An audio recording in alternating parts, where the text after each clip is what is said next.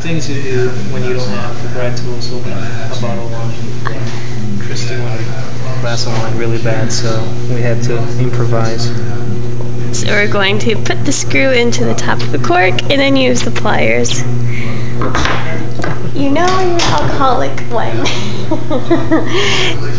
you do this to get into your wine.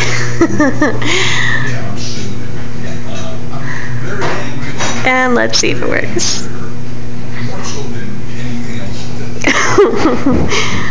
How to break a glass of wine.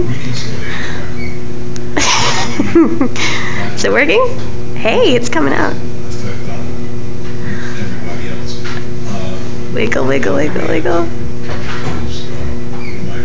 You can do it, you can do it. Success. oh, yeah. There you go. Now you know. You don't have a screw, uh, wine opener, To make it. can use a screw and a plier. A hammer will work too.